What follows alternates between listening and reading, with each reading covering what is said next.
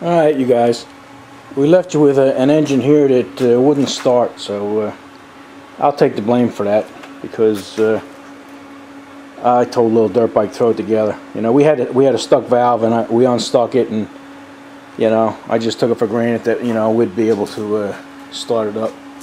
You know he's uh, he's a college student and he only had 45 minutes that night and I know he was anxious to get this thing running so uh, I told him I say slap it together and we we hoped for the best, but uh, we knew that there wasn't much of a chance because uh, if you look, I can spin the whole thing with my fingers here, and you could hear you could hear some compression, which made me think we should we would be able to start it, but uh, the valves are worse than I thought.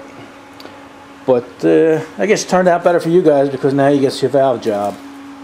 So let me throw you up on a tripod and uh, we'll tear this thing down and do it right. Alright. I got you guys over my shoulder here. We'll, uh, I'm going to try and stay out of your way there. Just disconnect the spring here. We just hooked that on there. Give us a little spring tension.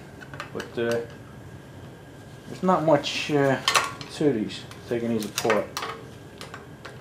We just got two screws holding this carburetor on. Forgot this had gas and. I'm glad you guys said that.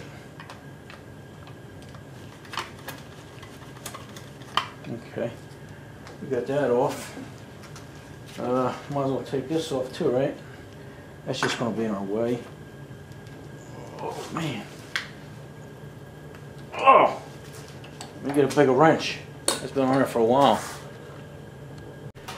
Okay, I got a bigger wrench here. I got you uh, strapped down to the table here, but I don't want to put too much tension on because you want to end up breaking a leg off or something like that. Let's see.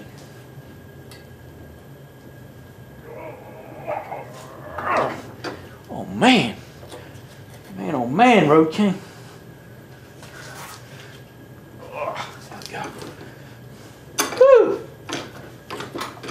Wasn't expecting that.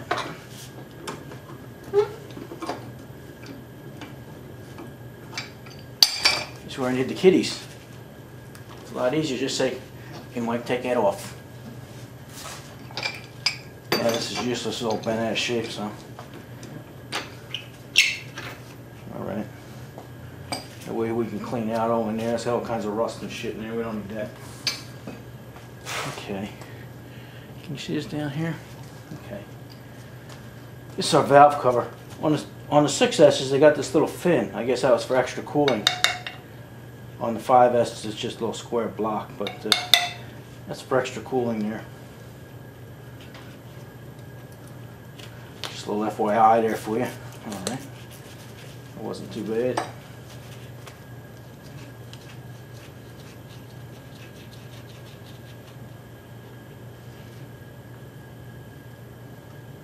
Okay, so our gasket's still good.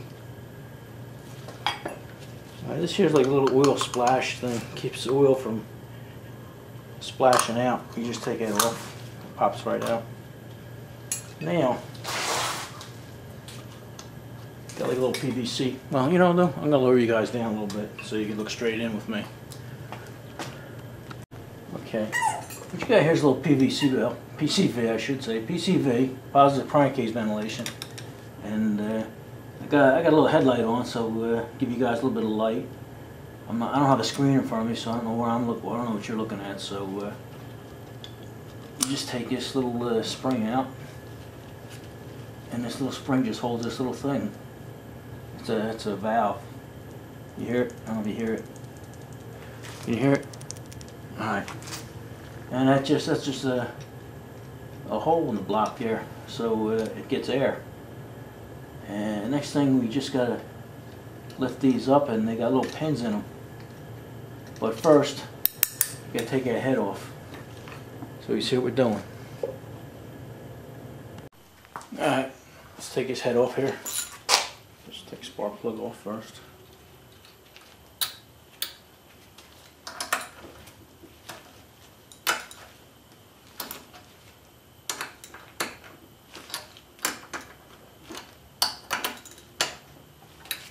Too bad.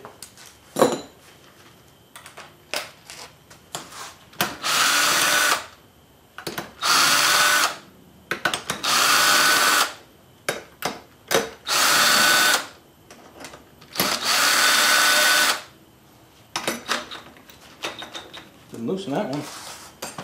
Look at you guys didn't say anything. There you go. Make me look like a fool.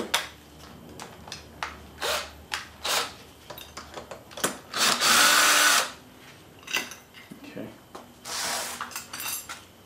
think I'll take a razor blade off and get that uh, gasket off. But uh, now we can see the valves, so uh, we're gonna have to clean all that up anyway. Alright, I got the camera light on, plus I got this headlight on for you.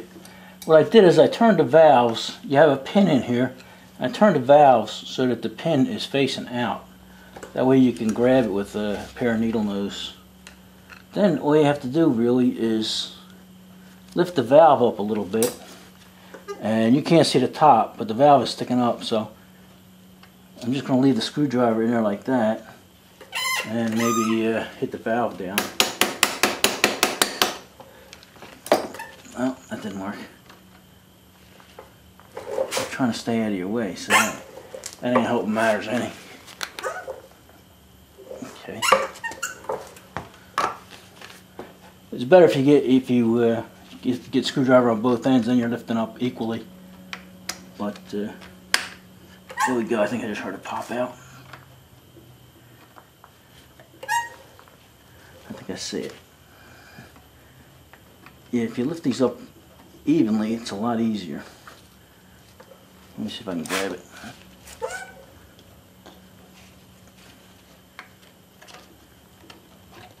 No. Didn't work. Alright, let me see what's holding. I think it might be a little carbon might be holding it up. Let me check into it. Yeah, a little carbon was holding it. So what I did is uh, I put these, I'm trying to stay out of the way here. I put the needle nose in so it would lift it up evenly and then you can actually hear it. Uh, there you go. It lifted up. So that's what you gotta do. You gotta, you gotta lift it up evenly and then maybe stick something in there and you can actually just grab that pin. Now I don't know if you can see that, but there's the pin. Now what happens is the spring will go all the way down, but the valve itself, back up so you guys can see the, the top. Uh, a lot of a lot of congestion going on out there, but uh, anyway, all you do is uh, grab the valve and the valve will come right out now. And here's that hole. All right, I'm gonna take the other one out. Then, then the spring, you just grab the spring and uh, pull it out. Be careful because you got a little keeper on the bottom. You don't want to lose that. At? So, okay, that one's out.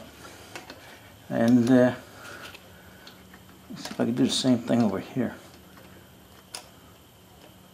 Like I say, sometimes you get a, a screwdriver tap the top because you have carbon holding on the bottom. But let me get that one out and uh, we'll see what they look like.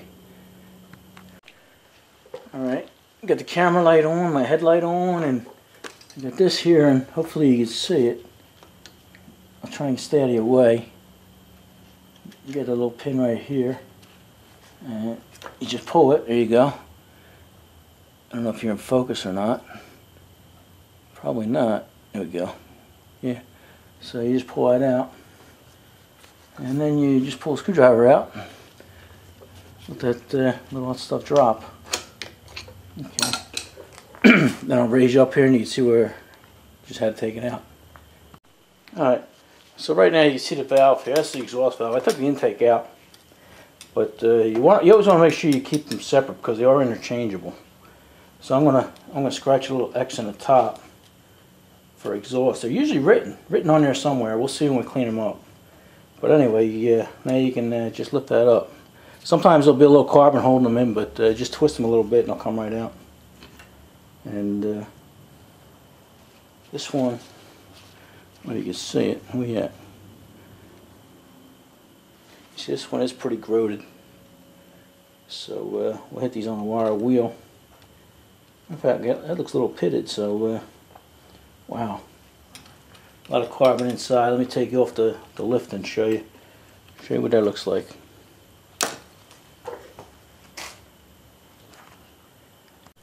Alright, take a better look at this here.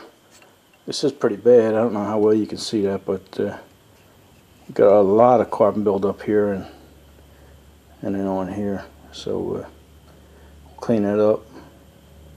It says here I got about 15 seconds left on my battery, so let me go get my battery, a new battery, and uh, we'll come back and uh, finish this up. All right, we got you guys a, a fresh battery. Another thing, I'm going. To I forgot to take this uh, this other spring out here. This is the exhaust spring. Another thing I wanted to mention to you is was uh, the springs are, are, different tensions.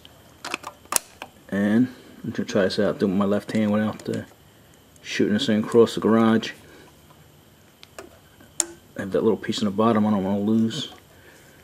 But anyway, all right. Let me put my other hand down before that uh, shoots out of there. And uh, your exhaust valve is always a little stiffer. So make sure you, you never uh, interchange them either. Now let me grab that out of there. I had a close look at your intake valve, and your intake valve was seating uh, beautifully, really nice. You see a nice shiny uh, surface in there. And then if you look at the, I grabbed the wrong one. If you look at the bottom of the intake valve here, you can see the way that uh, it's bright shiny silver. Right there it uh, looks a little dirty, but uh, for the most part it was like seating pretty well. Another thing I just noticed, uh, the intake valve it says uh, IN on the bottom here, so that there lets you know it's the intake. Alright, I'm going to take this over, and, and, if you look at this one, I mean this, this exhaust valve was uh, really cruddy. No wonder it wasn't running. And this one here. So we're probably gonna have to lap, but let's uh, let's clean them up and see what they look like. All right, guys, we'll clean this up, and uh, you're not gonna be happy. This uh, this intake valve is uh, oh, the light on. The light helps. This intake valve here is uh, perfect. It's beautiful. Let me see. Uh,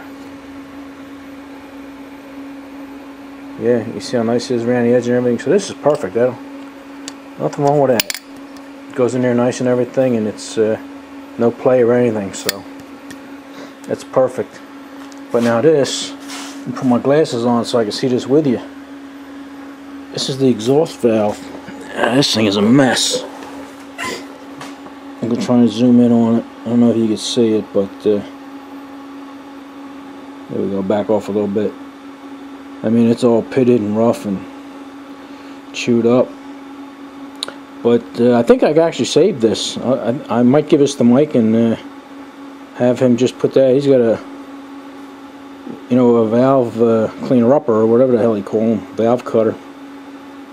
You know, it's got a little uh, indent here, but uh, the shaft itself, where it sits and the seats in there, is nice. So uh, I'll see if will cut that for me. That'll be good. But the real bad part is up here. I don't know if you can see this, but uh, this valve seat is uh, pitted really, really bad. Matter of fact, it's even rounded. You know, I have a valve seat cutter, but uh, you know, it's pretty big. It's for the for the big hit and miss engines and stuff like that. I don't even think Mike has a, a valve a reseater valve cutter for that. But if you look close, you know, there's like a little edge, a little lip around there you could actually pop these exhaust ones out and replace that seat so that's one option.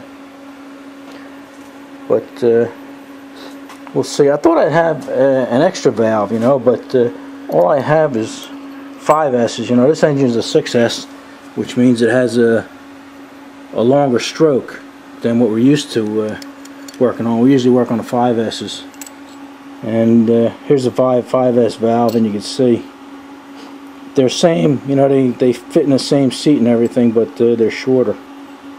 You know, and I could actually actually weld something on there and make that work, but uh, I'm not going to do that.